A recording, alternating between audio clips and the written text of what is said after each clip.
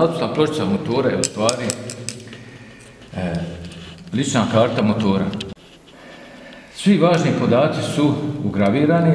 Neke firme daju veću pažnju, izradi same pločice, neke manje. Navodi se znači, naziv firme, navodi se tip, vrsta motora, znači iz ovoga bi mogli znati koji je motor, oblika, serijski broj koji može biti važan za recimo prijavu osiguranja od e, pregaranja, od krađe. U suštini predlažem, u stvari najbolje je ko ima više motora da napravi u jednoj svesci, da pokupi sve podatke o svim motorima, da ih napravi po poziciji, da ih prepiše sa, pločice tako da ih ima prašno na jednom mjestu što je jedan, jedan fin način čuvanja tih podataka. Na osnovu ovih podataka koji sada koji su gravirani, može da se tačno utvrdi koja je veličina, iako je to, recimo, izbrisano.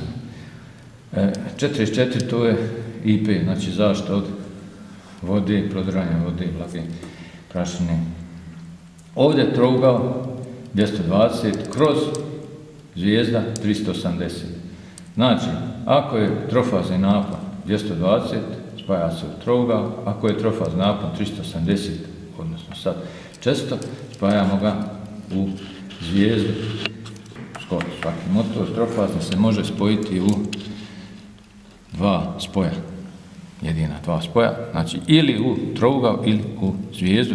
Ovo ovdje, vidite, nema, ne vidi se šta je to, ali to mi znamo da je i samo može biti struja na koju ćemo podesiti naš bimetalni relej. Znači ovo je nazivna struja. 3,6 je nazivna struja za znači ispred ove crte, 3,6 kroz 2,07, 3,6 odgovara, znači trofazno napon 220 i spoju trougao, dok 2,07 je za 370 V spoju u zvijezdu i mi ćemo naš bimetal e, podesiti na struju 2,07 ampera.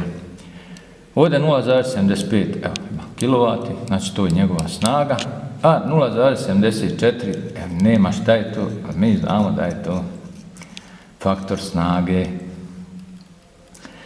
1400, malo ima, vidi se slovo M, znači ovo je obrta u minuti, 1400, znači da je brzina vrtnje motora.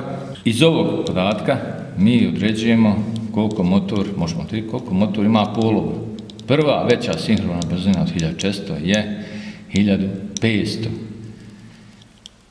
Znači, da je po onoj formuli ns jednak 60 puta f kroz p, da nam je p jednako 2. Znači, ovaj motor ima dva para polova, što će reći da ima četiri pola. I ovdje imamo da je 50 Hz, znači znamo da je to mašina izmjenične struje. To bi bilo sve. Doviđenja.